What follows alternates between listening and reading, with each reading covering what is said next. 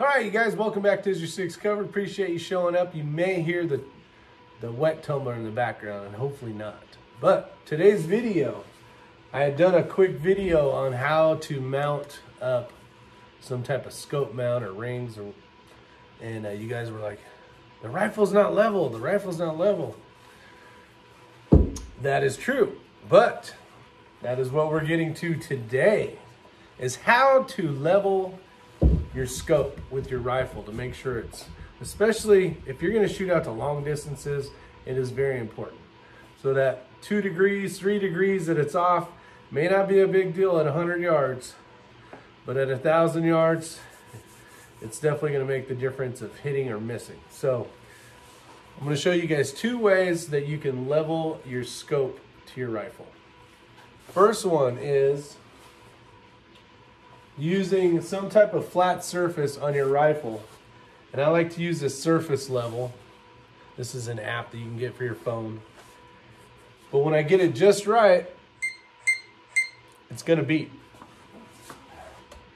So I need to make sure that the rifle is level first before I can start messing with this. So this is basically the process. You guys have installed the scope onto your rifle and now you're trying to get, before you tighten the rings down, you're trying to get that scope reticle to be perfectly in line with the rifle. Okay, so step one,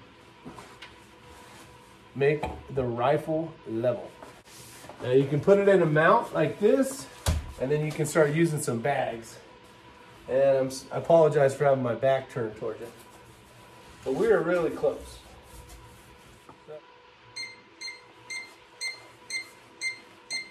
All right, so you can tell the rifle is level. Some of the problems is, is a lot of rifles don't have a very flat surface, so it does make it a little more difficult to try to find what is really flat. I'll lock the screen to show you guys. Okay. Now you can see that it is in the center of the screen, of the circle, the bubble. Now I need to come up here. Now I know my rifle is level. Now hopefully you have scope rings, turrets, that the tops are nice and flat because that makes it a lot easier. So let's see if my scope is level. Now what's gonna get you on this one is a lot of bases are 20 MOA, 30 MOA. Some are zero, some are 10, you know, it depends on the rifle. So what we're looking for here is to get the ball, the bubble, to be on the, the playing field of the left to right to get it to center. Okay, so I locked it in, but you can see that Hold on, see if I can get it to show up. This one here, this one here is zero, zero. The 0.7 is the actual, because of the 30 MOA base rail. So now we're centered. Now I could go ahead and lock these down you know, do it in a pattern like you would a car tire where you go back and forth.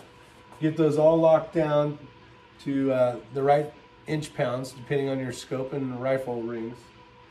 So now that would be done. That would be zero, zero. That is one way how to make sure that your reticle is zero degrees along with your rifle. The second way is to We're gonna pretend that this box here is a string that it's hanging down from the sky. We'll call it a plumb bob.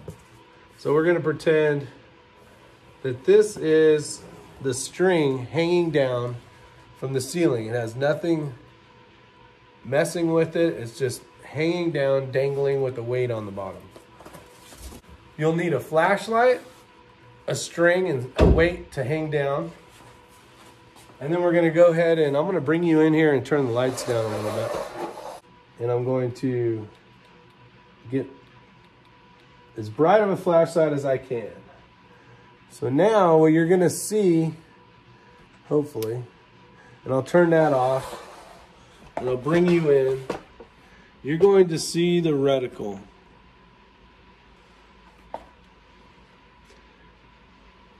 So now, let me switch the camera over and we'll show you what's going on here. Okay, so this is the plumb bob piece of string hanging down. We're gonna pretend it's not very straight. We get the rifle like this. We have the flashlight. We got the Surefire. You're going to see that you can see the reticle. So now if you needed to, let's see if I can do this. I could turn and cant the rifle scope to get on the right playing field, to be perfectly in line with the plumb bob. Because we know if it's hanging from the roof and it's hanging down and it has a weight on it, that that string is going to be perfectly level. So as long as we can get the scope to line up with that, you might have to mess with the uh, might have to mess with the power a little bit to see what works the best. Okay, so this doesn't work great. Let me see if I can crank this down. And see, once I get the power correctly, that thing really comes into play. And now you can see, you can definitely see the reticle. Let me go back a little bit that way. And you'll see the reticle. So we'll go ahead and pretend that this is just, I'm now I'm pushing the whole rifle right now, but we're gonna pretend that I'm actually just cranking the scope over a little bit and I'm trying to get that perfectly lined up Oops. Trying to get that perfectly lined up with that plumb bob. So hopefully you guys understand what I'm trying to say here. Appreciate you guys showing up. Today you are looking at the Vudoo V22 with the Vortex 4.5 to 27 Razor HD Gen 2 with the F3R scope rings. And the accessory pick rail on top for the Hawk Hills custom Hawk Hills data card.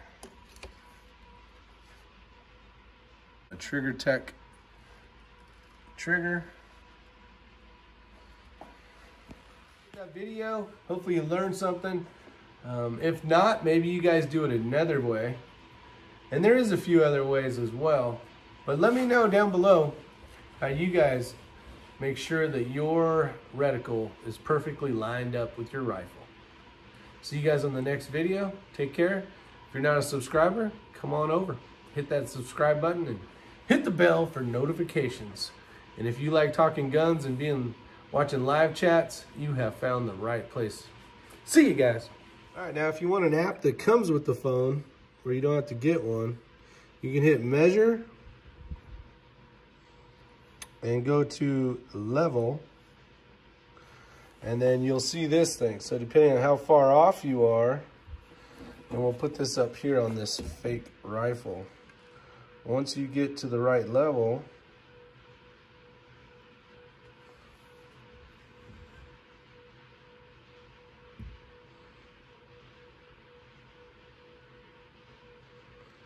This thing's being stubborn. There we go.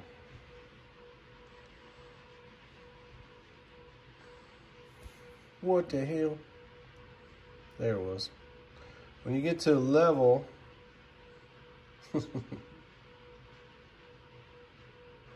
it turns green. So then you'll know your rifle is level.